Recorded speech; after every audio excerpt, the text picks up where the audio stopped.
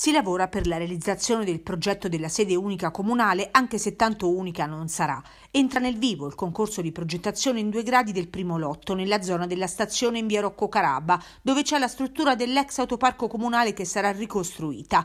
L'idea della sede unica per il comune risale alla passata amministrazione guidata da Massimo Cialente. Ora riprende forma, anche se con dei distinguo, perché l'amministrazione guidata da Pierluigi Biondi ha inteso, oltre a Palazzo Margherita in centro, che è in piena ricostruzione sede istituzionale, avere più sedi anche nel cuore della città. La struttura dell'autoparco vedrà al suo interno anche la sede della Polizia Municipale e tutte le funzioni di protezione civile comunale. Per il primo lotto ci sono a disposizione 14 milioni di euro sui 40 totali che servono per la sede unica.